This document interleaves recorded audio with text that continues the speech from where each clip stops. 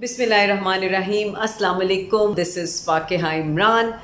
आज मैं लेके आई हूँ एक बड़ा ही इंटरेस्टिंग किस्म का कॉन्सेप्ट जापान से उठा के आपके लिए यहाँ पे लेके आए हैं। जापानीज़ कल्चर बड़ा ही रिच किस्म का कल्चर है। उसमें सीखने के लिए ह्यूमन डेवलपमेंट के लिए, अपने आप को बेहतर बनाने के लिए बड़ी जिसको कहते हैं ना, बड़े ज़बरदस्त किस्म के इंटरेस्टिंग किस्म के, नए यूनिक किस्म के कॉन्सेप्ट उसके अंदर होते। अच्छा वो ये रहा था कि I was preparing for a training एक ट्रेनिंग की तैयारी कर रही थी, उसके अंदर मैंने कोई एक्टिविटी रखनी थी तो रिसर्च करने लगी हुई थी। अब जब रिसर्च कर रही हूँ तो मुझे एक I came across you know a concept और वो कॉन्सेप्ट है जापानीज़ जिसको कहते हैं किनसूगी अब Kintsugi basically K I N T S U G I ये वर्ड बनता है। इसमें किन जो मतलब है, उसका मतलब है गोल्डन एंड सूगी का मतलब है रिपेयर या ज्वाइन करना। ये कॉन्सेप्ट क्या है?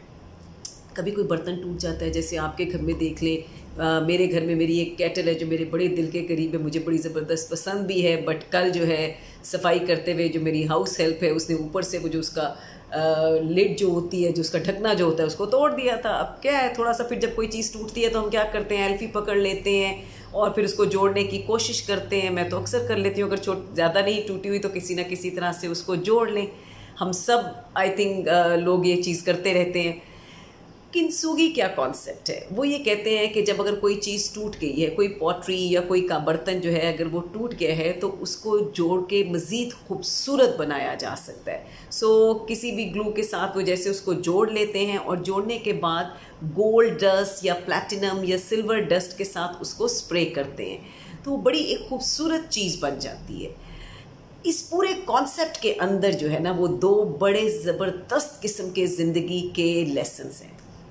एक तो इसमें ये है कि जो हम अक्सर कहते हैं ना कि एक दफ़ा जो रिश्ते में दरार आ गई तो बस वो फिर कभी ख़त्म नहीं होगी या टूट गया दिल तो जुड़ेगा नहीं। वहाँ पे ये वो ये बात करते हैं कि अगर कभी किसी रिश्ते में या अगर कभी किसी भी रिलेशनशिप में, दोस्ती में ऊंच नीच हो जाती है जारी बात है हम इंसान हैं, आपस में लड़ते भी हैं तो आप उसको जोड़ भी सकते हैं। ये नहीं कि एक दफ़ा टूट गया तो छोड़ दिया, जोड़ भी सकते हैं। और वो जो लाइन है जो कि शायद देखने में बुरी लग रही हो, या वो जो एक कह लें याद, हमारी याद में वो चीज़ रह जाती है कि जिस वजह से लड़ाई हुई थी या जिस वजह से रिश्ता तोड़ा था, आप उसको किसी खूबसूरत चीज़ में भी बदल सकते हैं। उसी के ऊपर वो जैसे करते हैं कि जहाँ पे ब्रेकेज हुआ है, वहाँ पे गोल्डन डस्ट से या प्लैटिनम से उसको खूबसूरत बनाने की कोशिश करते हैं। मकसद क्या है? अगर कोई रिलेशनशिप ज़िंदगी में टूट गया है तो उस रिलेशनशिप पे मज़ीद मेहनत करने की ज़रूरत होती है। थोड़ी सी मेहनत अगर और कहें, करें तो वही रिलेशनशिप मज़ीद खूबसूरत हो सकता है। ये इतना पावरफुल मैसेज इसमें है। दूसरी चीज़ जो मुझे लगी, जो किनसूगी फ़िलासफ़ी है, आप इसको बिल्कुल गूगल कीजिएगा।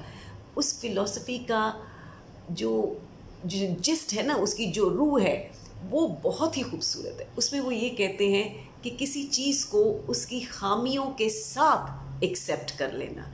आप देखिए, हमारे जो रिलेशनशिप्स हैं हमारी एक होते हैं हमारी फैमिली और एक होती है हमारे फ्रेंड्स फ्रेंड्स होते हैं हमारे चॉइस के. फैमिली हमारी, अब जिसमें अल्लाह ताला ने पैदा कर दिया, उसी में आगे.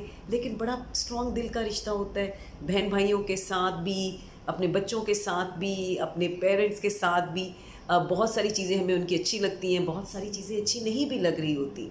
लेकिन फिर भी हम अपनी फैमिली को उसकी तमाम खूबसूरतियों के साथ और उसकी तमाम वो कह लें कि वो सारी चीज़ें जो हमें शायद नहीं पसंद हैं, उन सब के साथ खुले दिल के साथ एक्सेप्ट करते हैं। And this is exactly one Kintsugi is कि अपने दिल को खोलें और जब लोगों के साथ मिल रहे हैं तो उनको, उनकी खामियों के साथ एक्सेप्ट कर लें।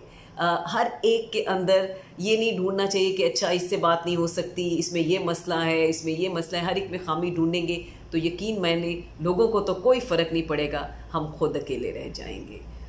बहुत ज़बरदस्त कॉन्सेप्ट है, इसको ज़रूर रिसर्च करिएगा और फिर हो सके तो थोड़ा थोड़ा ज़िंदगी में अप्लाई करने की कोशिश कीजिएगा। Thank you